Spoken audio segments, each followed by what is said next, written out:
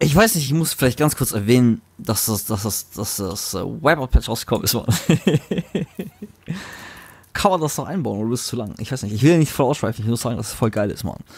Und, weil es halt auch extrem gut reinpasst. Ja, aber eigentlich wollte ich einen AG Racing Podcast machen, aber ich finde einfach die Zeit, Mann. So einen kleinen Mini, den ersten deutschen AG Racing Podcast, also wirklich so einen richtig, richtig hart, richtig durchziehen, Mann, weiß ich mein. Und weil ich habe ja auch die CD bekommen von Cold Storage. Der, ich weiß gar nicht, ob das sogar ein Deutscher ist, Mann. Der, der Komponist der ersten beiden Wipeout-Soundtracks. Also Wipeout hat ja immer einen verantwortlichen Hauptproduzenten und dann halt viele Gastkünstler, so wie Prodigy und Chemical Brothers und so. Und es gibt einen, der so die Note vorgibt und der auch selber den Großteil des Soundtracks macht. Also so immer so acht Songs zum Beispiel von dem und sowas. Und der hat beim zweiten Teil nur zwei Songs dabei gehabt, aber die waren legendär und hat auch von einem der PSP-Teile, der war auch wieder Produzent, also sein Comeback quasi. Und der hat vor zwei, drei Jahren diese CD gekickstartet und die habe ich dann jetzt bekommen. Leider genau an dem Tag, wo mein Internet zusammengebrochen ist, habe ich noch die E-Mail bekommen auf mein Handy in Gmail. Dass es jetzt endlich fertig ist und dass er mir dankt für seinen Support und sich entschuldigt, dass er jahrelang nichts von sich hat hören lassen. Und die CD ist, die heißt Wipeout, äh, Chill Out, ist aber so gestylt in der Schrift wie Wipeout. Und ist richtig geil, weil er auch das Designstudio von damals quasi für das Coverart bekommen hat. Und jeder Track hat ein eigenes Coverart in dem Booklet. Aber ich habe es halt nur als digitale Version. Und ähm, das ist halt alle seine Wipeout-Tracks oder einige, eine große Auswahl davon in, in so Ambient Chill, Chill-Musik-Style. Okay. Also nicht so, so fetzig, so schnell und sowas, sondern so Entspannt. entspannt mal, chill out. Und es ist richtig nice, es ist richtig nice. Ist zwar leider wenig Vocals, also er hat auch vieles von den ursprünglichen Vocals rausgenommen. Gerade bei den bei zwei Liedern, wo ich es richtig, richtig fett finde, aber fett, äh, fett gefunden hätte. Aber es ist wirklich trotz allem richtig geil. Ich habe es noch gar nicht ganz angehören können. Aber es muss ich auf jeden Fall irgendwann irgendwo erwähnen, es muss es nicht heute sein. Ich glaube, du hast es Ja. gerade erwähnt. Ja, sind wir schon live. Natürlich sind wir live. Sehr wir gut. live. Dann habe ich es ja schon abgehakt, Mann. Genauso wie ich es auch sagen wollte, habe ich schon gesagt. Steff macht es genau richtig, weil ich fange mal schon an, die, die Rosinen rauszupicken, bevor der Podcast überhaupt losgeht. Ja, deswegen, ich drücke einfach auf Record und lass laufen. Und ah ja, du musst danach darunter leiten, dass es schon läuft. ja, das ist doch super, Mann. Nee, ich freue mich. Es Mann! Ganz komfortabel, so wie ich es möchte. Man hört einfach meinem Gelaber zu, gerade da, wenn es passiert. Bro, Und das. VR-Patch, Mann. Ganz kurz, das VR-Patch. Ja, nee, was geht, Bro? ja, nein, rede über den VR-Patch danach. Das VR-Patch, Leute. Ich muss es vielleicht fast streamen, wie ich diesen Helm drauf auf, auf hab, Mann. Das ist einfach. Ich, ich saß gestern Abend, also ich wollte ins Bett gehen um 2 Uhr, war mega müde. Hab mir The Terror angeguckt zum Einschlafen auf Amazon. Und genau in dem Moment, wo ich pennen gehe, sehe ich halt so, wie dieses VR-Patch, also wie der Patch halt runtergeht, der Download, ich so, das darf nicht wahr sein, das, das ist die VR-Version. Und als der Patch installiert war, siehst du halt unter dem, unter dem Spiele-Icon im PlayStation 4-Menü, siehst du halt dieses kleine VR-Icon aufploppen, so kompatibel, ich so, oh mein Gott. Festplatte in die andere PS4 reingemacht, Wipeout in die andere PS4 reingemacht. Scheiße, Mann. Es ist wirklich passiert. Ich wusste nicht, dass es heute rauskommt. Niemand wusste es. Es ist nirgendwo, ich habe es nirgendwo gesehen. Aber gut, ich hatte auch kein Internet. Auf jeden Fall. ja, ein Geschenk, weißt Ich bin wieder im Netz, Mann. Ich bin wieder in der Matrix, Mann.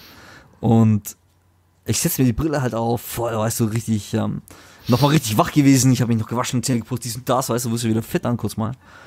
Und einen Drink geholt. Und ich sitze, weißt du, ich setze mir den Helm auf und siehst so dieses Titelbild. Voll nervös so zum X drücken. Dann sehe ich schon, die haben das Titelbild verändert. So die Gleiter fliegen auf dich zu, an 3D an dir vorbei. So ganz langsam, aber in Slow Motion. Ich so, yeah. Ich gehe so rein ins erste Level und habe mir halt ewig lang Gedanken gemacht, was, was wird die erste, der erste Track sein und so, schon wieder voll durchgedreht, weißt du, welcher Flash ist der beste. Auf jeden Fall das Coole ist, du weißt doch bei Wipeout, wie bei meisten Future Racern auch, hast du am Anfang so, so ein Video, wie du so die Stage halt siehst. Und das haben sich in der VR Edition verändert, sondern du sitzt einfach im Cockpit. Und was nice ist, jeder Gleiter hat ein komplett eigen designtes Cockpit. Und kannst dich halt einfach im scheiß Cockpit umsehen. Also du hast einen Joystick in der Hand, du siehst die Armaturen auf der Anzeige, du siehst die ganzen Buttons für den Boot und so. Und ähm, guckst nach links aus dem Fenster raus und zum ersten Mal siehst du, das, was du vorher nur als Textur wahrgenommen hast, das sind jetzt immer noch Texturen, aber du erkennst es. Das ist ein verdammter, ist ein, da kannst du Pizza kaufen. Okay, links kannst du Pizza kaufen. Rechts gibt's so einen Dessous-Laden, weiter hinten gibt's einen Laden von diesem Racing, von so einem Tech-Team, so einem Racing-Technology-Laden mit irgendwelchem Schnickschnack. Also du kannst die, du kannst die Schilder lesen. Du guckst nach oben, du siehst die Wolkenkratzer, du siehst die, die Drohnen über dich hinwegfliegen, du siehst das Publikum an der Seite stehen, du siehst, dass das tatsächlich halt echt stiere Sprites sind, weil in VR ist die Auflösung ja nochmal geringer. Aber du kannst dich einfach umsehen in dieser Welt. Die Sounds fliegen an dir vorbei. Es ist richtig, richtig geil. Es Aber nur wegen Stunde dem lang. Intro, der Strecke, oder wie? Nur das Intro der Strecke. Also du drückst X und dann geht's los. Weißt du, was ich meine? Okay. Also dann geht der, der 3, 2, 1 und, und ich sitze halt einfach, du kannst einfach vorher noch im Gleiter chillen, solange du willst. Und es ist schon da. Ich war schon richtig gefesselt davon, wie viel es für mich zu entdecken gab. Die Architektur, die, die nimmst du ganz anders wahr, wenn du da richtig von unten, also wenn du richtig mittendrin stehst. Also du kannst auch die Ansicht so wie normal im Spiel machen, dass du einfach hinter dem Gleiter bist, das hat dann 3D. Aber in dem Cockpit ist abnormal. Okay. Aber, und dann losgeht- aber nicht während du raced. Also du kannst nicht während du raced in deinem Cockpit dich umdrehen. Doch, natürlich, na klar. Das ist ja das Krasse, weißt du, du bist schon geflasht, wenn du nur da drin sitzt, Mann. Weißt du, du sitzt da drin, es fühlt sich real an, es fühlt sich gut an, es, ist alles sehr scharf. Also du kannst in die Kurve reinschauen dann quasi, während du ja, du gleitest. sitzt richtig im Cockpit. Du sitzt, das ist der Traum, den, den ich damals hatte, weißt du, als ich. Wipeout war mein erstes Spiel mit Alien Trilogy. Und. Ich war ja von F-Zero noch so geflasht, weil es von Kind schon gebrandmarkt und dann sag ich mir, ja, fuck, mein Future Racer, voll geil, sehe ich das in 3D mit geiler Musik. Also ich bin da auch erst auf diese Musikart gekommen, ich habe als Kind schon Metal gehört und das war dann so voll was Neues für mich und die Serie hat mich halt immer begleitet und das ist ja schon immer dann, weißt du, mein Traum gewesen, so als Kind und so, wirklich selber mal in so einem Gleiter zu sitzen, Mann. Und Evan und ich haben auch schon Romane darüber gelesen. Matthew Riley hat einen AG Racing Roman geschrieben, der ist phänomenal gut.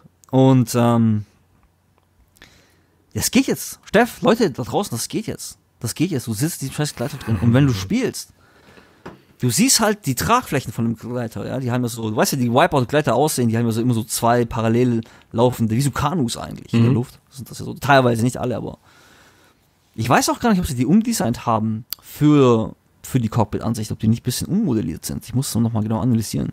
Ist auch geil, im Menü kannst du den, den, den Gleiter halt als 3D kannst du, halt vor dir angucken, das ist richtig flashig. Und ähm, die haben auch die Strecke teilweise umdesignt. Das ist auch cool, also dass du halt manche Details siehst du halt jetzt anders. Die sind halt jetzt in der Innenseite der Strecke zum Beispiel anstatt außen. Und aber das Geilste ist halt, dass diese Tragflächen, ähm, diesen, die schwanken mit, aber dein Cockpit bleibt in der Mitte immer gerade. Weißt du, was ich meine? Ja. Das ist ein ganz wichtiger Faktor, weil wenn du über Wipeout früher aus der Ego-Perspektive gespielt hast oder andere Racing-Spiele in der HA hat und du drückst nach links, dann ist das Bild wirklich so schief geworden. Ja? Das komplette Ding. Und wenn du dir das halt in VR geben würdest, ist halt schon, da wird dir extrem schwindlig. Da wird dir ganz extrem schwindlig. Denn es gibt auch unterschiedliche Camera-Settings. Und zwar Cockpit-Ansicht, ähm, dann Pilotenansicht oder eben Streckenansicht. Das sind ganz feine Unterschiede. Ich habe es nicht ganz raus, aber bei der Pilotenansicht wird den meisten schwindlig wird dabei gewarnt. Und tatsächlich muss ich sagen, wenn ich die Kamera auf Pilotenansicht mache, ist ist mir schon mulmiger geworden. Aber also das interessiert mich, was das genau ist, was das da, was Okay, da hast du da einen Wobbly-Effekt dann von deinem Kopf drin oder wie? Also, ja, ja, das, das Witzige ist, das hast du ja sowieso irgendwie. Also du hast ja, ja gut, das könnte es sein, dass mein Kopf so hoch und runter schwankt. ja genau, weil, weil dass du eventuell diesen Wobble-Wobble-Effekt hast. So könnte ich es mir jetzt vorstellen, einfach sein. von der Beschreibung, ne? dass du so ein, wirklich wie Kopf auf Schulter und noch mehr so ein Bump-Feeling quasi Ja, hast. das könnte es sein, Mann. Das ist das ist ganz genau trackt dann. Jedenfalls, wenn du die Cockpit-Ansicht drin lässt ja, und du gehst halt in die Kurve, dann, dann schwankt halt der Gleiter mit, aber du bleibst gerade. Wie bei so modernen Sci-Fi-Film, dass das Cockpit immer so äh, gleich bleibt.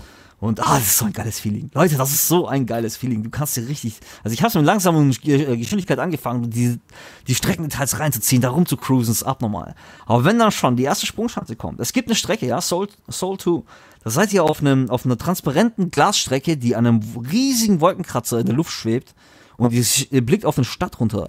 Und da gibt es eine Sprungschanze, wenn ihr über diesen Berg runterkommt und dann auf diese Stadt nach unten zurast, in die Tiefe. Mir ist es reingezogen. Ey, wie bei der größten Achterbahnfahrt, Mann. Wirklich, das ist ein Trip. Ihr habt eine Achterbahn zu Hause. Das ist abnormal. Es ist wirklich abnormal. So, jetzt habe ich genug Werbung für Wipeout gemacht. Welcome to Dra High Score Dropout. Yeah, welcome to High Score Yeah. Dropout. Ah, the Weekly Podcast. Und eigentlich wollten wir heute über was ganz anderes reden. Du wolltest über Tomb Raider reden. Ja, wollen wir mit Tomb Raider einsteigen? Wollen wir vielleicht lieber mit deinem, oder wollen wir uns dein Thema bis zum Schluss aufheben? Ich glaube, mein Thema skippen wir einfach. Aufgrund der Laufzeit. Aber das Ah, ist auch toll. gar nicht so schlimm, weil Ich das ist mich mega zeitlos. drauf eingestellt, Mann. Oh, okay, gut, dann machen wir es auf jeden Fall. Dann wird es wieder etwas länger heute. Aber ich glaube, damit haben wir kein Problem. Ah, nee, lass uns mal mit Tomb Raider anfangen, weil ich glaube, Ja, gucken wir erstmal, was mit Tomb Raider geht und dann können wir es nachher entscheiden. Tomb Raider. Ja, es gab einen neuen Teaser. Es gab einen neuen Teaser zu Tomb Raider. Also, Für das. Zum also Spiel. nicht für den. Genau, zum Spiel, zum neuen Tomb Raider Spiel. Und zwar wäre hier. Also zeitgleich ist auch ein Film erschienen. Der Teaser kam eine Woche später raus. Und der Film erzählt ja grob den ersten Teil wieder, so in mancher Hinsicht. mh, ja. Aber dazu kommen wir noch. Das Spiel ist auf jeden Fall der, der Abschluss einer Trilogie äh, von einem Reboot von Tomb Raider. Ne? Und das heißt jetzt Shadow of the Tomb Raider. Ähm, der zweite Teil hast du gespielt, oder? Ich habe den zweiten Teil, also ich habe den ersten Teil gespielt, ich habe den zweiten Teil gespielt bis zum Endkampf. Und habe dann aufgehört. ich hatte also nicht mal versucht, ich bin ein einziges Mal gestorben, habe gesaved. Und ähm, das mein Problem war, ich habe das in zwei Tagen bis dorthin gespielt, ja, und habe dann einfach eine Pause gebraucht und die Pause dauert bis heute noch an. Ja, ich kenne das, Mann, wenn die Abschweifungen dann irgendwann dominieren. Ich habe es mir einfach zu sehr gegeben. Und ich bin ganz ehrlich, beim zweiten Teil hatte ich. Der erste hat mich total gepackt. Der zweite hat mich nicht mehr so gepackt wie der erste Teil. Ich kann es dir aber nicht beschreiben, aber es waren die ganz vielen Wow und geil und Bohr-Effekte, die ich beim ersten Teil hatte, oder Momente, die ich beim ersten Teil hatte, die hatte ich beim zweiten einfach nicht mehr. Ich kann dir ganz genau sagen, woran das, ähm, woran das lag, weil mir Ja. ging es nämlich ganz genauso. Also ich, fand den- ich finde den ersten Teil phänomenal gut. Ich gebe ihm, ich gebe ihm vielleicht sogar eine 9 von 10, weil ich liebe das Spiel. Ich habe das zweimal auf PS3 schon durchgefetzt. War für mich eines der großen Abschlussspiele auf PS3 und sieht, finde ich, auch immer noch mega geil aus auf der PS3. Ich habe dem Ding eine Sag schon, 9 ich von sag 10 immer gegeben. PS3, PS3. Ja, ich habe Du dem Ding ihm eine 9 eine von 10 gegeben. Ich habe eine 9 von 10, ja, 9 von 10. Ja, Killer, Killer. Ich, mich würde interessieren, warum du eine 9, weil ich würde es auch gerne Nein. sagen, warum ich ihm nur eine 9 gebe. Sorry, ich sehe gerade Scheiße. 9 von 10, das ist die IMDB-Bewertung und das Sternchen daneben ist meins und es ist 10 von 10 schon gar. Oh la la. Ja. Ja, das Spiel ist aber auch fetzig. Ich habe es mir auch tatsächlich dann nochmal für PS4 gekauft. Für 5 Euro gab es das im Store, konnte ich nicht widerstehen. Ich wollte das Spiel in den perfektesten Einstellungen sehen und das ist ja richtig. Also die Definitive Edition, die nochmal rausgekommen ist, das war richtig geil, Mann.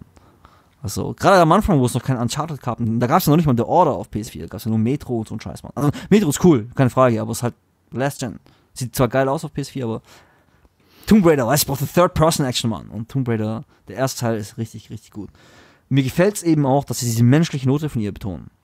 Dass sie eigentlich nur ein Student ist, zwar schon wagemutig und schlau und gerissen und gewieft, aber sie ist halt einfach nur ein Mädchen im Endeffekt. Ja, also eine junge Frau, sagen wir es mal so. Sie, sie hat noch nie jemanden getötet. Sie war noch nie in so einer extremen Situation. Sie, sie ist noch nie gefesselt, kopfüber aufgewacht zwischen äh, gehäuteten Leichen, weißt du, über Stacheln. Mit tausend Wunden im Körper. Ja. Ähm, ja. das war ein richtig geiles Survival-Feeling und das Spiel hatte ganz viel drin, Mann. Ich finde da auch ein bisschen Descent drin, das hat mir voll gefallen. Also man merkt schon, dass es aus England kommt. ähm, fand das Szenario geil mit dieser japanischen legendären, also Pseudo, es war ja kein, so, also zwar war es von ja, nah an der japanischen Kultur, aber es war ja so ein anderes Reich quasi, so ein verlorenes Mhm. Reich aus uralten Zeiten. Und das fand ich ziemlich geiler Backdrop. Und es hatte geiles Waldfeeling, es war organisch. Und das Problem beim zweiten Teil war, dass es zwar alle Elemente drin hatte, die der erste Teil drin hatte, fand ich. Aber das Problem war einfach wieder diese extreme Offenheit der Spielwelt.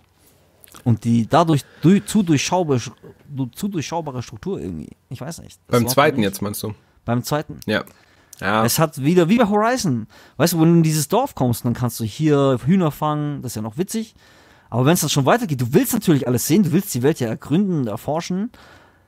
Aber es lenkt dich halt erstmal eine Weile ab, teilweise, von, ja. von, von der Main Story. Zumindest hab's ich dann so gespielt, ja. Ich wollte ja die ganzen äh, Tempel auch sehen, ich wollte auch die Story besser verstehen, alles, Mann. Weißt du, wie ich bin? Hat der erste Teil-.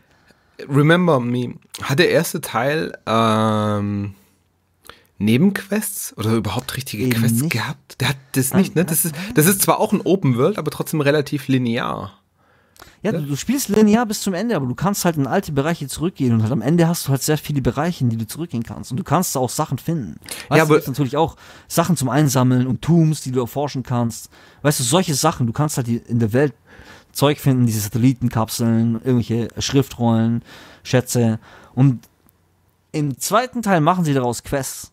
Genau, Also und du das hast, gibt's alles auch, aber es ist mit Quests ver verbunden. ja, und du hast im ersten Teil genau diesen, dieses Feeling nicht. Du hast im ersten Teil nicht dieses Sidequest, ich muss jetzt, ich sollte, hm, hm, und sonst was. du kannst erkunden, genau du musst nicht erkunden, der Rest ist Story. Genau so. Genau. Ja, Mann. Hammer. Ja, du hast es genau auf den Punkt gebracht. Genau dieser Punkt, der mich in seinem zweiten Teil so gestört hat, ja, weil der erste Teil hat das einfach nicht. Der treibt dich nicht dazu an, Nebenquests zu machen. Richtig, richtig, richtig. Und der Witz ist, Du siehst auch, du läufst auch an allem vorbei. Das nimmt, für, also zwar nicht an allen Items, also die meisten Items musst du schon suchen im ersten Teil, es geht schon ab. Mit diesem Instinkt, mit dieser Instinktfähigkeit, wo du die Welt so grau siehst, finde ich auch richtig cool. Aber die Tombs, die, an denen läufst du fast immer vorbei. Ich wurde dir mal gesagt, hey, hier ist ein Tomb in der Nähe. Das finde ich auch cool, ist dieser Tomb, Tomb Raider Instinkt, was ich meine. Also du kannst auch dann einfach, das ist wie bei Metroid, ja, du sammelst das Zeug dann halt nachher ein. Beim, beim, beim zweiten Teil ist schon weitläufiger. Und ich finde den zweiten Teil aber trotzdem fett. Also ich finde die, ich finde die Idee wieder richtig cool, weil das wieder so eine neuartige Kultur ist, so eine neue, coole neue Idee. Ähm, kommen wir vielleicht noch drauf, kurz, wenn du willst. Aber das Hauptproblem ist, wie sie die Story inszeniert haben, passt halt auch absolut nicht zu dem Design von der, von der, von der, in diesen Quests. Weil wenn du dem Storypfad folgst, ist alles sehr rasant. Mhm. Ja, so Hubschrauber jagt dich durch halbe Spiel und sehr viel Action, alles sehr condensed gehalten mit auch den äh, anderen Charakteren, diesen, wie hießen die denn? Das ist so ein Orden quasi. Mhm. Ja, ich wusste es vorhin noch, sorry, hätte es mir aufschreiben sollen. Ähm, Ist ja auch egal. Tridents oder so, keine Ahnung. Ja. Ja, ich weiß noch, dass es irgendwie dieser Hubschrauber da war und dann habe ich irgendwie zwei Stunden was anderes gemacht und bei der nächsten Zwischensequenz ist der Hubschrauber halt so, so bam, voll episch abgestürzt und so. Und ich dachte mir, hä? Ach so, das sollte jetzt quasi eine Jagd sein. Und ich habe halt übelste Abzeigung genommen, halt Stunden was anderes. weißt das ist halt das, das, das, das float nicht so gut, Mann. Hey, Verfolgung sagt, pause mal. Ich muss ganz kurz in den Club gehen, ein bisschen abdancen und danach gehen wir wieder weiter.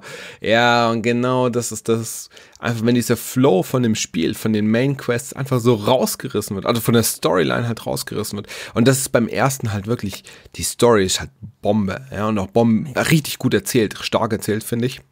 Ja, Und- sich entwickelt, ist mega geil, Mann. Ja, und die ganzen, die ganze Welt drumherum, die bietet halt die passende Atmosphäre. Und wie gesagt, du kannst halt suchen, aber du wirst nie gezwungen dazu.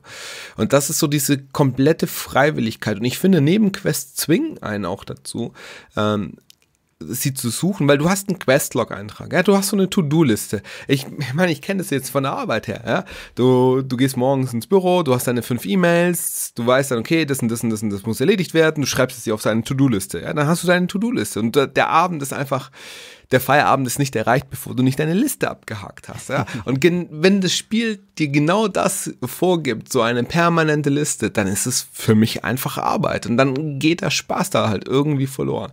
Wenn du jetzt aber in das Spiel einfach reingehst, du eine Story hast und du auf der Story reiten kannst und nebendran noch ein paar Dinge entdecken kannst, also so freiwillig entdecken, geil.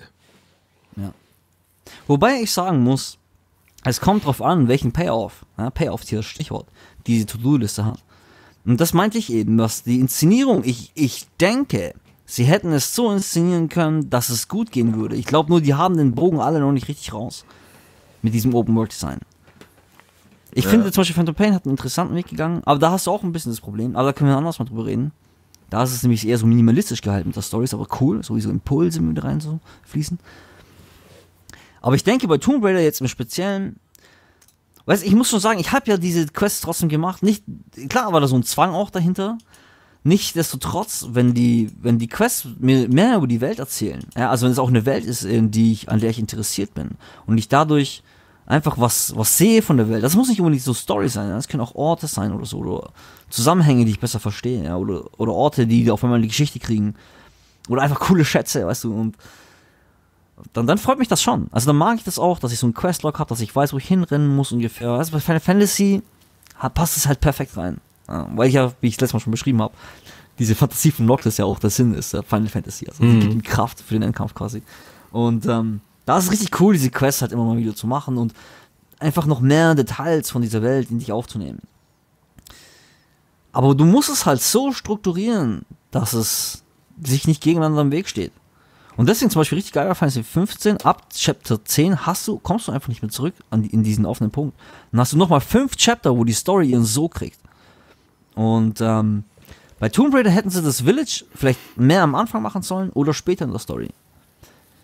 Ja. Aber nichtsdestotrotz kann man das Spiel gut durchspielen, weil sie, glaube ich, das schon auch gemerkt haben irgendwie ein bisschen. Denn wenn du nach dem Durchspielen das Spiel nochmal startest, das ist nur meiner Spoiler jetzt, ja, dann ist sie wieder zurück im Dorf, weil sie ist noch dort. Und dann steht sie auf, also sie redet noch kurz mit einem, und dann steht sie auf und sagt, jetzt ist es an der Zeit herauszufinden, was noch hier verborgen liegt. Weißt du, also es ist nochmal so eine kleine Zwischensequenz, wo es dann darum geht, was sie dann noch alles erforschen. Da habe ich dann noch aufgehört. Das passt dann perfekt, um diese ganzen Quests zu machen und diese ganzen Sachen abzuhandeln. Ja, vielleicht ist es auch genau, genau der Punkt. Also vielleicht sollte man das Spiel so spielen oder vielleicht sollte man erst Genau, die, man hätte die, einfach der Story folgen sollen und dann Ja. am Ende das erst machen. Ja, vielleicht sollte man aber vom, vom Spieldesign her, ja, es gibt da so eine Theorie bei Spieldesignern, dass, dass die Spieldesigner, die Spieler ja auch ein bisschen schützen müssen, ja, vor sich selbst, damit man nicht unnötig viel Zeit verliert oder damit halt der Eindruck gut, gut bleibt. Vielleicht sollte man die Sidequest erst aktivieren, nachdem man einmal die Main Story durchgespielt hat, you know? Ja, schon. Ja, schon. So dass man wirklich am Anfang sagt, okay, nein, du musst dieses Spiel erleben, die Story, damit es dich packt. Und danach hast du eine ganz offene Welt und kannst 200 Sidequests oder sonst was noch machen. Äh, Nur mal so eine Idee in den Raum gestellt. Ich würde es, ich persönlich würde es, glaube ich, bevorzugen.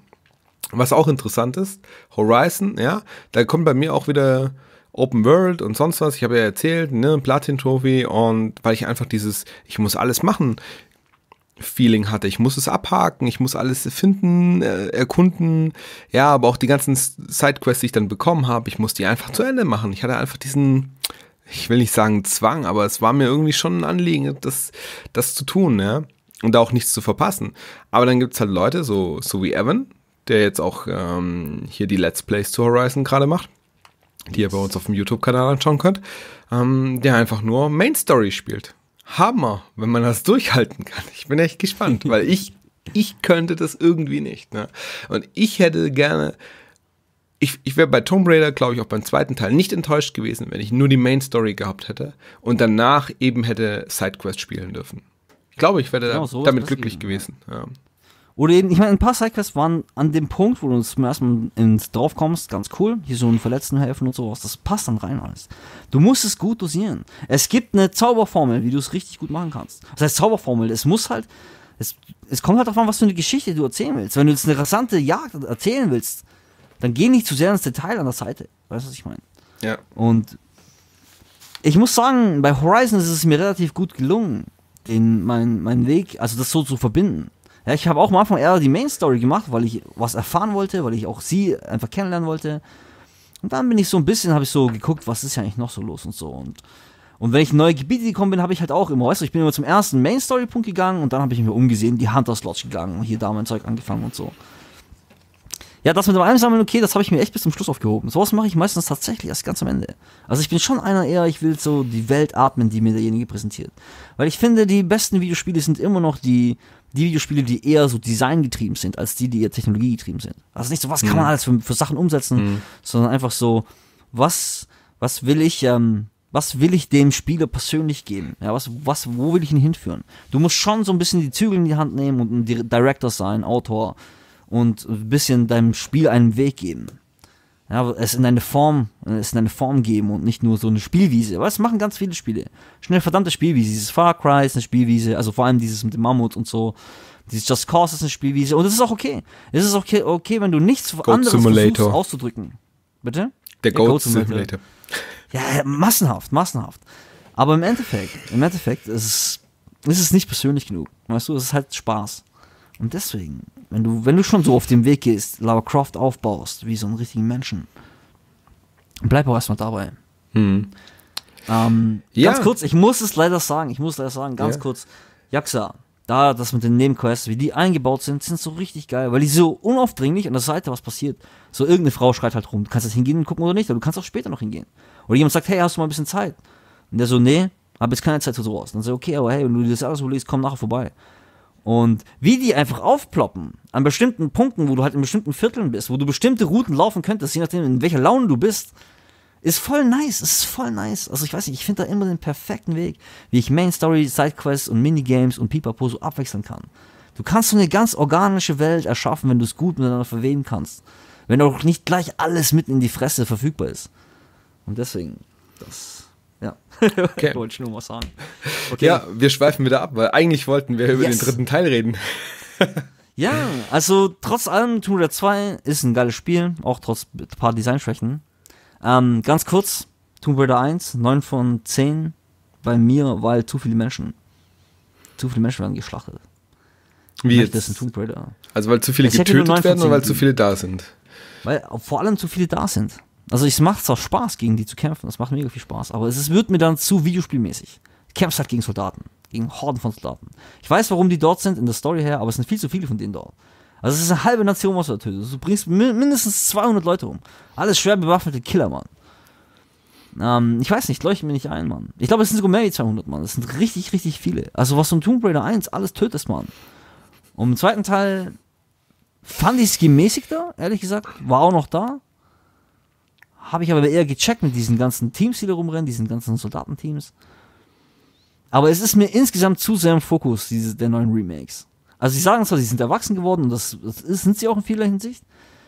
Aber ich finde, da sind sie eher zu sehr auf diesen Action-Trip, Mann. Also in diesem pubertären Ding drin. Ich weiß es nicht, ich kann es schwer fassen, aber guck mal.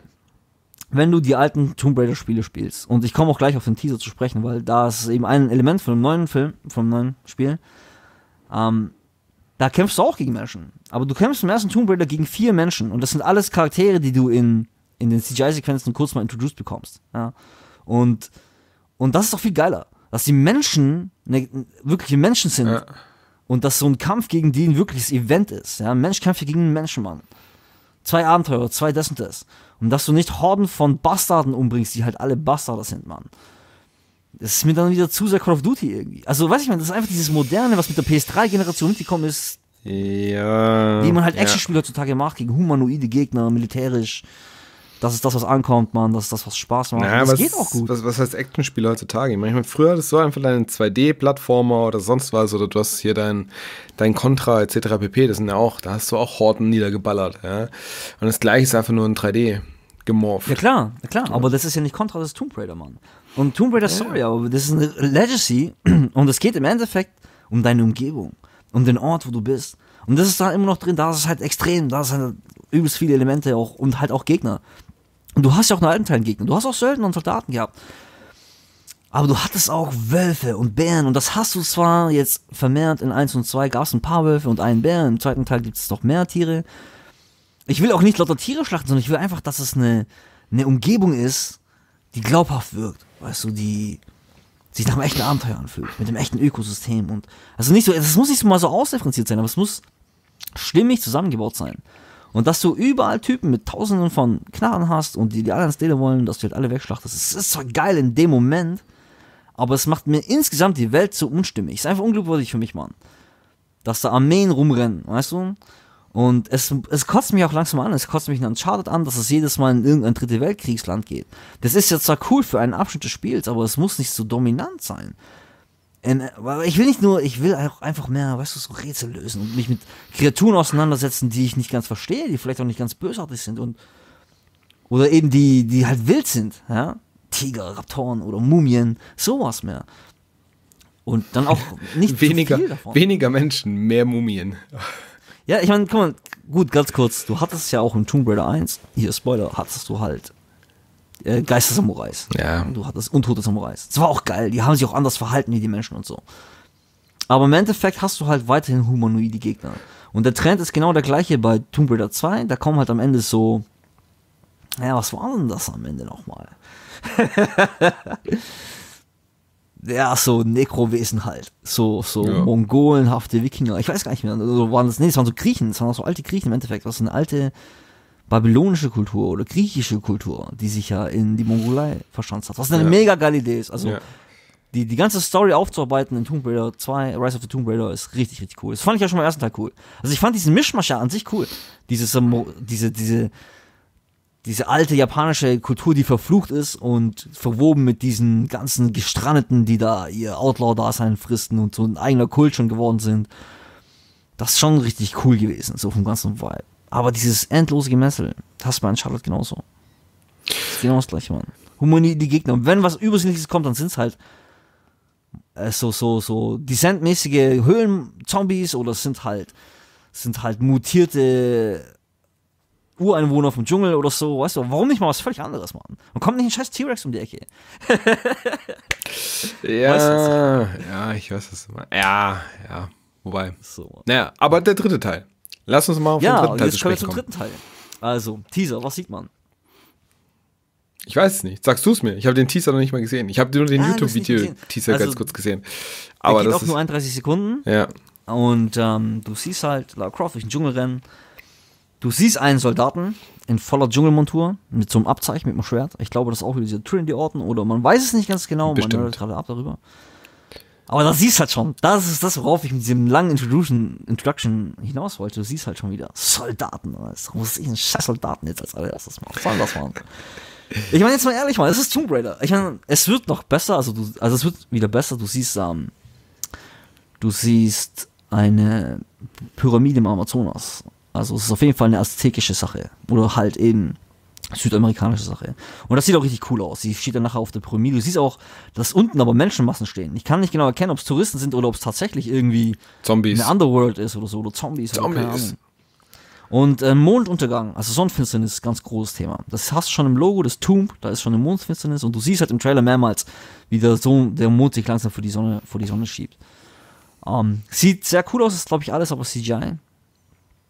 Und ich finde das, ich finde das, ähm, das Szenario schon mal geil. Also Dschungel ist jetzt überfällig, finde ich. Wir hatten jetzt zwei coole Sachen, aber, aber hey, du willst endlich wieder, weißt du, Pyramiden erforschen. Also entweder Wüste oder Dschungel muss ja was sein. Ah, ja, wo, Fand wo, ich, also.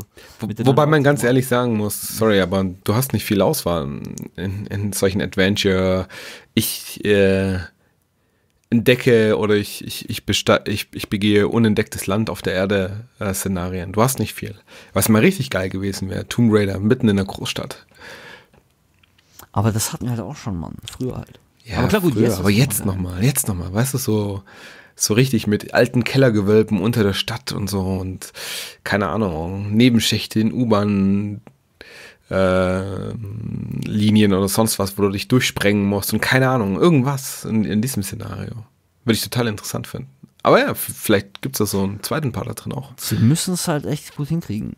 Also ich finde, also wie gesagt, es gab es ganz viele Tomb Raider 3 und 5, glaube ich. Und auch so bei diesen. Gab es ja schon mal ein Reboot von Crystal Ja. Dynamics. Von selben eigentlich, die jetzt das Reboot gemacht haben. Und ähm, da gab es auch Tokio und, und England und alles mögliche. Aber jetzt, mit der jetzigen, wie die Levels gestaltet sind in Tomb Raider, Ja. in der neuen Reboot, wäre das schon richtig geil, Mann. Auch von der Atmosphäre. her. Du könntest voll Hellboy-mäßig abgehen, dass es richtig weit runter geht, Mann. Weißt du, ich meine, richtig weit Ja. runter, New York. Ja. Einen ganzen Kilometer. Underworld und New York, Mann. Necro City, ey. Eben, ja. Das wäre doch mal richtig geil, ohne jetzt mal. Hammer. Das wäre richtig fett. Aber ich weiß nicht, ob das der richtige Punkt ist jetzt schon. Wobei es schon nice wäre, jetzt, wo ich drüber nachdenke.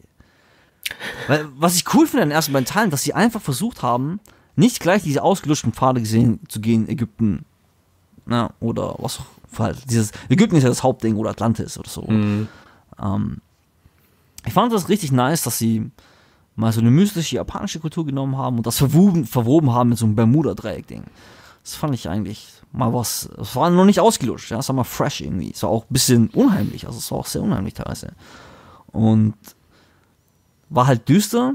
Beim zweiten Teil fand ich es auch geil. So eine Schnee, Mongolei, aber du bist eigentlich auf der Suche nach einer uralten, antiken Zivilisation aus Griechenland, die, sich, die da auf der Flucht war und tiefst in den Höhlen ihre neue Stadt aufgebaut haben. Hammers, die Idee, Mann. Es war richtig, richtig cool, wie die Kulturen halt auch so verschmelzen.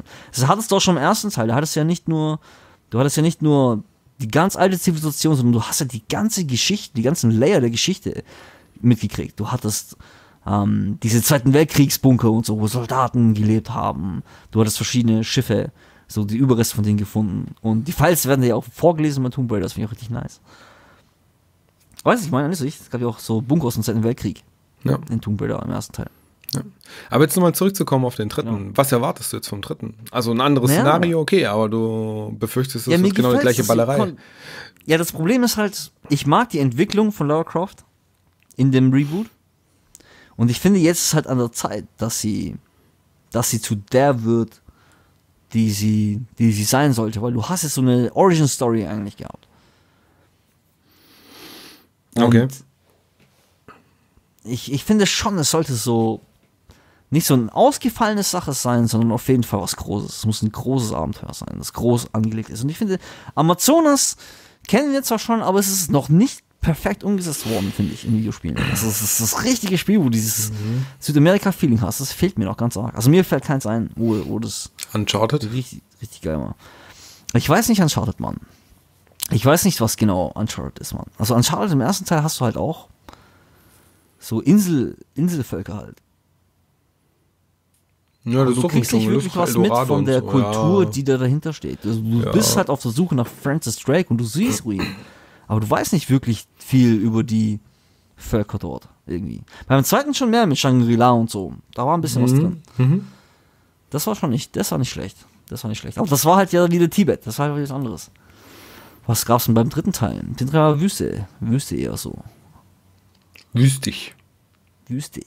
War das Wüste? Weißt du, das, das Tomb Raider, also das Shadow of the Tomb Raider, hatte schon so ein bisschen diesen Apokalypto-Vibe. Und du weißt ja, dass Shadow, das Tomb Raider, das neue ja auch nicht davor zurückschreckt, ähnlich blutig zu sein. Also ich kann mir schon vorstellen, dass sie da wieder ein richtig intensives Survival-Abenteuer draus stricken. So, ich hoffe halt, dass es nicht zu viel Guerillakrieg wird. Aber wenn es Guerillakrieg wird, dann sollte es auf jeden Fall, sollte sie endlich ihre beiden Pistolen benutzen. oh ja, apropos beide Pistolen. Ja, kommen wir mal zum Film. Ich habe jetzt lang genug geredet. Kommen wir mal zum Film. Sorry, gell. Ah, nee, kein Ding, kein Ding. Ja, da gibt's auch so, so diesen schönen. Soll ich spoilern? Ich spoiler, ich spoiler. Also es ist kein richtiger Haus Spoiler. Mann. aber es gibt einen Gag einfach. Also sie benutzt tatsächlich den Bogen im, im Film, ja, weitestgehend. Und ähm, zum Schluss, als alles vorbei ist, siehst du sie halt noch irgendwie so in der Stadt rumlaufen, sich aufrüsten und keine Ahnung was. Äh, dann gibt's auch einen Run, oder dann gibt's halt einen Gag mit, mit Charakteren, die vorher im Film aufgetreten sind und dann kauft sie sich dort in so einem Pawnshop halt zwei Knarren. Also ihre zwei Knarren. Und ja, und damit ist der Film dann halt eigentlich, das ist so die, die Final Scene im Film. Ansonsten ist der Ah, Film okay, eigentlich okay. im Prinzip ziemlich stark inspired vom ersten Teil. Und ich finde eigentlich auch für eine Videospielverfilmung ganz solide. Ich meine, auf IMDb mit 6,8 Punkten, pff, ja, okay, passt schon. Schneidet auf jeden Fall besser ab. Und deswegen habe ich so vorher so gesagt, oh mein Gott. Äh, er schneidet auf jeden Fall besser ab als Pacific Rim 2. Und das finde ich schon krass so. Aber gut. Hätte ich jetzt ganz anders erwartet, aber ja. Ähm, ansonsten Tomb Raider, der Film. Wir, wir hatten es, glaube ich, mal in unserem Moviecast auch mal Oh, angesprochen. ganz kurz, das habe ich noch gar nicht äh, computed. Wie, wie schneidet Pacific Rim 2 ab? 6,0. Ja, gut. Für das ist für mich schon, das kann, alles möglich sein. Wie Ja. Ja, 6,8 auf Tomb Raider. Also ja, das ist immer noch, ich weiß nicht, ich gebe nicht so viel auf die Bewertung von IMDb, aber es ist schon ein Indikator. Du kannst schon sagen, okay, wenn ein Film dort 9 oder höher oder 8 oder sowas scoret, dann weißt du, okay, das ist in der Regel ein Film, wo es nicht so viel zu diskutieren gibt, ob der jetzt gut ist oder nicht gut ist, sondern eher, ob er extrem gut war oder halt nur gut war. Ja. Ja, ich hatte eine ganz andere Perspektive. Ja? Egal weiter. Also ich bewerte eh bei vielen ja, komisch klar, durcheinander. Ich, ich habe auch viele Abwertungen, also viele sehr große abweichende Wertungen, aber ähm, das ist dann halt noch persönlicher Geschmack. Aber ich meine, wenn ein Großteil, weiß nicht, keine Ahnung, ich habe jetzt noch nie einen Film gehabt, zum Beispiel, der mit 8 oder höher bewertet war, wo ich gesagt habe, der war total schlecht. Ich glaube, das habe ich gar, oder ganz selten gehabt, muss ich ganz ehrlich sagen. Aber ja, egal. Äh, Lass uns zurück zu Tomb Raider spielen. Ist eigentlich ein, ich meine, du hast ihn ja noch, du hast ihn nicht gesehen, ne? Nee, nee, nee. nee. Ich, Ja. Was mich halt interessiert ist, ob er dieses, ähm, also mir gefällt, ich als ich den Trailer gefäll, gesehen habe, was mir gefallen hat, ist, dass das relativ realistisch anmutet. Sie kam mir ein bisschen zu tough vor, ich weiß nicht. Mich würde interessieren, ob sie vielleicht, ob sie schon am Anfang so tough ist oder ob sie auch wirklich erst so tough, also so stärker wird und rauer wird und in diesen, in diesen, ich bin jetzt ein Survivor und ein Jäger ob sie in diesen Vibe so reinwechseln im Film. Ob es diese Entwicklung da gibt oder ob sie schon von vornherein, also dass sie irgendwie, wie gesagt, auch schon gewieft ist, sollte feststellen, aber ist sie schon die Lara Croft? Weiß ich mal. Nein, nein, nein, nein, nein, nein. Also sie fängt ganz soft an eigentlich. Oder was heißt soft? Okay. Soft ist jetzt. Nein, sie ist schon tough. So ein toughes Mädchen am Anfang. Oder? Ja, Eine taffe Frau, aber, aber sie ist jetzt mh, noch nicht die Lara Croft. Das ist eher so, dass sie am Ende, am Ende hin eben zu Lara Croft wird, so in, im Filmverlauf. Und der Filmverlauf orientiert sich so ganz grob am ersten Teil des Reboots. Fängt aber anders an. Also äh, am Anfang ist sie das Fahrradkurier und so in der Stadt und äh, Aber das finde ich okay, das finde ich cool. Das finde ich cool, das passt rein.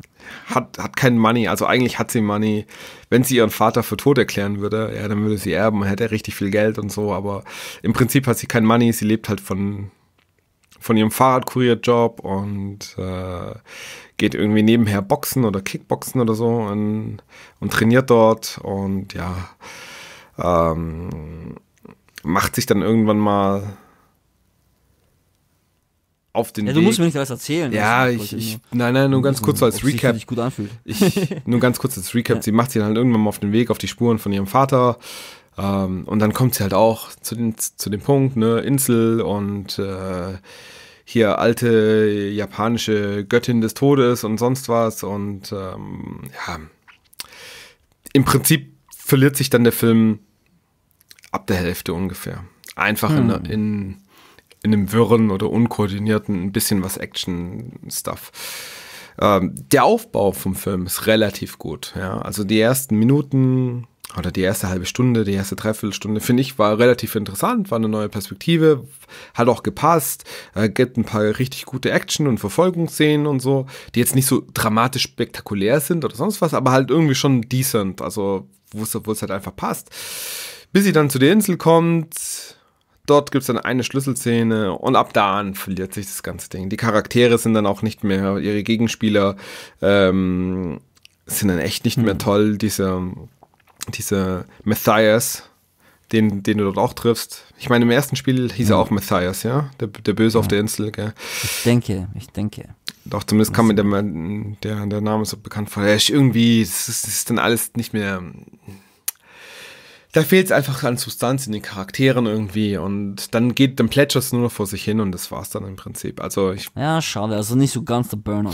nee, nicht so ganz der Burner. Es ist Qualität da, es ist wirklich Qualität da und es fängt auch wirklich gut an und danach verliert sich der Film einfach irgendwo. Und es ist Ich schade. glaube, das ist ganz oft jetzt in letzter Zeit gewesen bei Videospielverfilmungen. Also, dass ein guter Anspruch da ist und dass auch genug filmisches Know-how da ist, einen Film aufzubauen. Aber dass, dass so der essentielle Punkt an der, an der Geschichte, den, der in dem Film fetzig, weißt du, herauf, hervorgehoben werden soll, dass sie den einfach nicht wirklich gefunden haben. Was ist mein? ja, ich, Also in, in ihrem Schaffen, der, das Spiel auf, auf, als Film hinzubringen, dass sie da so ein bisschen, ja, da noch ein bisschen reinnehmen, da noch ein bisschen, wir wissen nicht ganz, hoffen wir, dass wir es irgendwie hinkriegen. nee, Weil Assassin's Creed hast du auch mega Schauspieler, diesen Michael Fassbender, und jetzt hast du Alicia Vikander, und du hast auch fähige Leute, ja, also es ist noch fähige Regisseure da teilweise dran, recht hohes Kaliber. Aber ja, Nee, eben, so eben genau das ist das so- Problem. Regisseur ist ja genau mit, mit eines der Probleme. Also es gibt eigentlich zwei Probleme an, an dem Ganzen. Erstens mal, du hast in so einem Videospiel einfach viel mehr Zeit für Storytelling. Und es dauert viel länger als jeder Film. Und die Hauptstory von dem Videospiel sind eben nicht zwei Stunden Film. So, das ist der erste Knackpunkt an der ganzen Geschichte. Das heißt, wenn du das Ganze verfilmst, musst du kürzen. Und wenn du kürzt, dann ist das Ganze immer ein Wagnis. Wo kürze ich, wo kürze ich richtig? Deswegen sagen auch viele Leute immer, das Buch ist meistens besser wie der Film. Und es ist schwierig, ein, ein Buch richtig gut zu verfilmen, weil wenn du nämlich ein, ein Buch hast, wo du, keine Ahnung, als Hörbuch, ja, wenn es jemand vorliest, 14, 15 Stunden Zeit investierst und danach einen zwei Stunden Film draus machst, ist das Storytelling halt einfach meistens schwer wieder umzusetzen. So. Ja, aber da möchte ich ganz kurz einhaken. Weil das geht trotzdem. Es geht trotzdem, wenn du dich auf einen bestimmten Aspekt fokussierst. Ja, genau, aber das musst du halt machen und das musst du halt gut treffen. Aber das ist, ein, das ist eine Herausforderung, die du einfach meistern musst. Also das geht nicht out of, da gibt es kein Pauschalrezept, wo man sagen kann, so, das machen wir jetzt einfach und fertig und es funktioniert immer. Das Sondern stimmt, das, das ist, stimmt. das ist eine Kunst, das richtig zu tun. So, und dann ist der nächste Punkt, ähm, ja, du hast Alicia Vikander, die eigentlich eine extrem gute Schauspielerin ist. Muss aber ganz ehrlich sagen, ähm, von der Schau reinen schauspielerischen Leistung in dem Film wird nicht viel gefordert, denke ich. Ich habe nicht das Gefühl, dass da wirklich viel gefordert wird. Also es hätte auch jemand anders spielen können.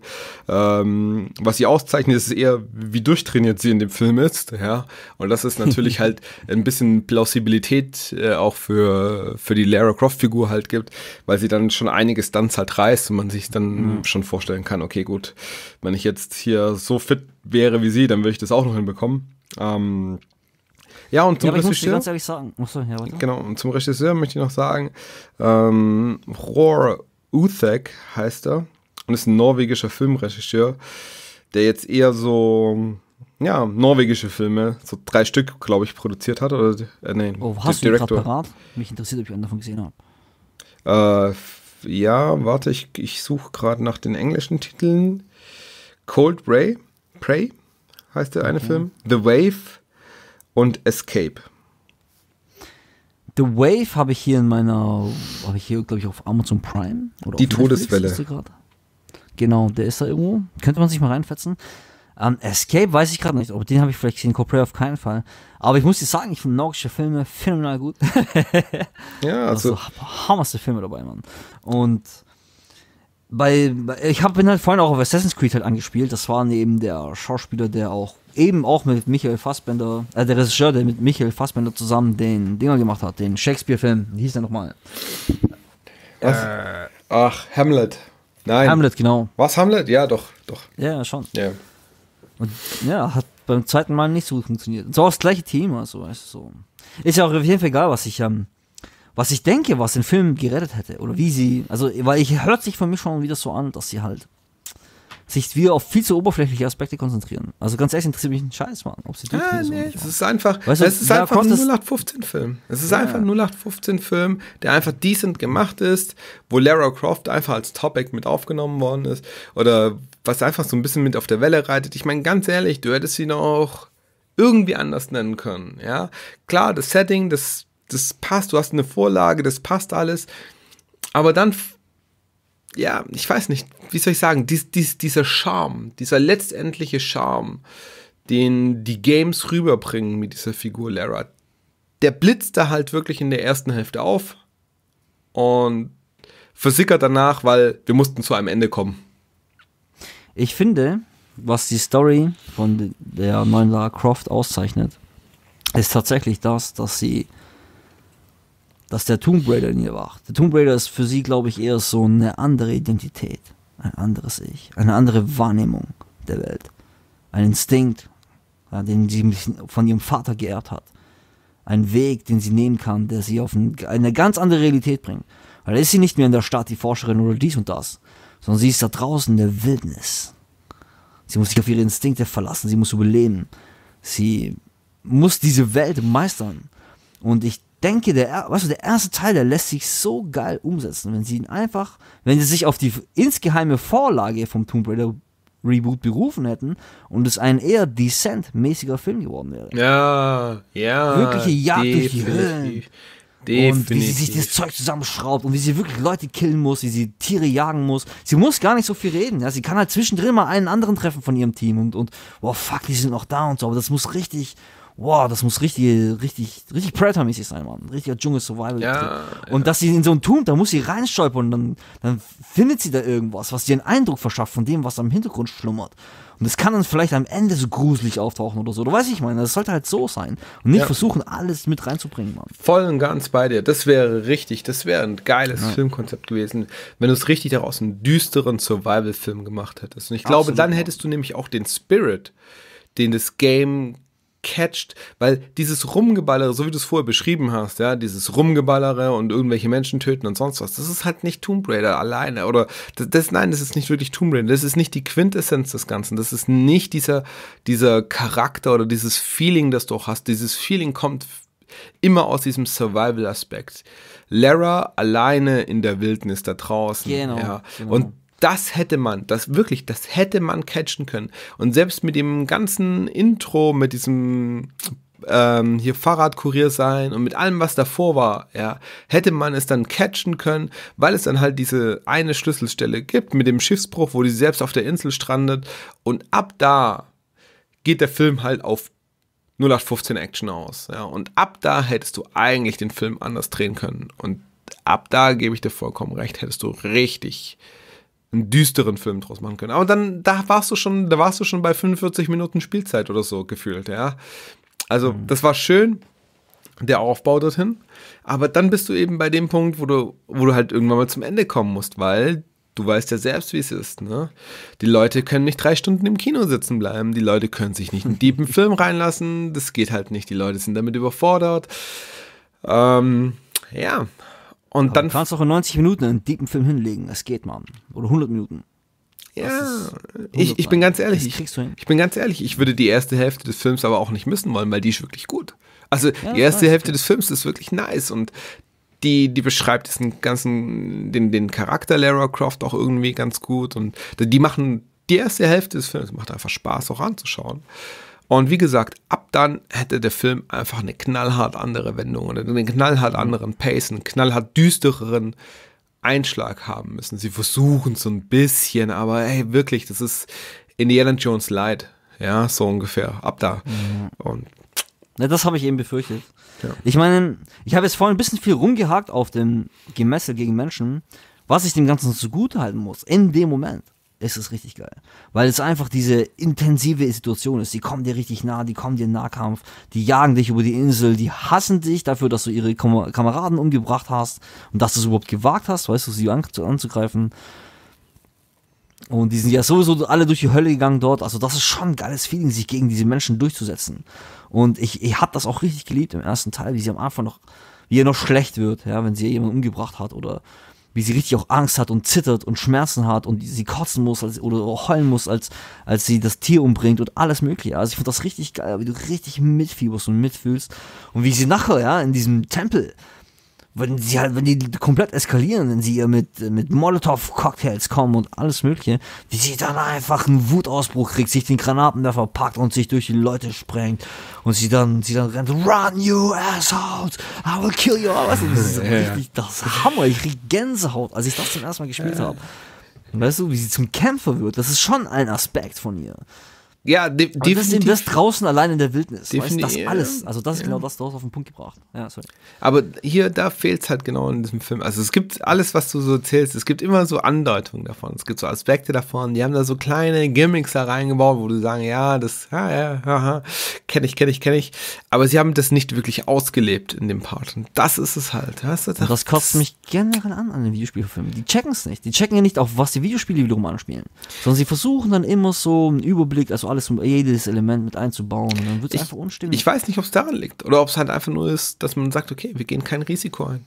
Weil wir haben so viele was? Leute vielleicht, die ja, Kinokasse, Erfolg, die den Film trotzdem angucken wollen. Die wollen vielleicht gar nicht diesen Scheiß drin haben. Ich weiß es nicht. Vielleicht wollen ja nur wir es haben, weil wir die einzigsten Nerds hier sind, die Bock auf sowas haben und die in Anführungszeichen normalen Zuschauer möchten das vielleicht gar nicht. Die möchten halt einfach nur Popcorn-Kino und fertig aus. Ich weiß es nicht. Ich weiß es einfach nicht. Ich glaube, es gibt genug von beiden Seiten. Wir müssen gucken, dass sich unsere Seite öfter durchsetzt. Oder dass sich das weiter vermischt. Ich denke, es gibt auch Filme, die fetzen, weißt du, ich meine.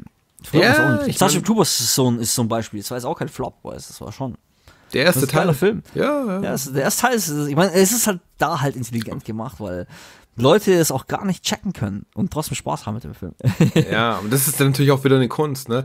Beide Ja, das zu was bedienen, die Leute, ja. die es checken. Aber ja, Oder Mad Max war jetzt auch ein geiles Beispiel, fand ich persönlich. Also da ist auch Der neue Mad Max? Eine Linie. Ich fand den Film mega. der beste Mad Max.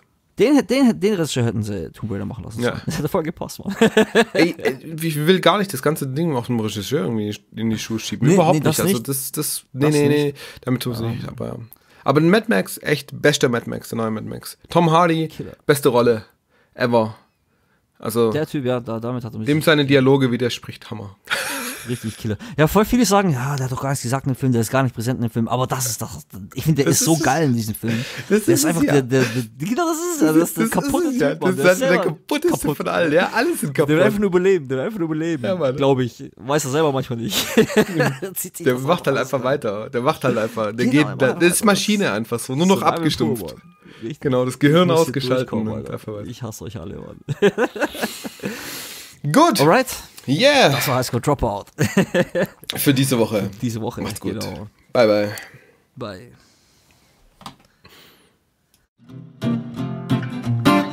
High Score Dropout.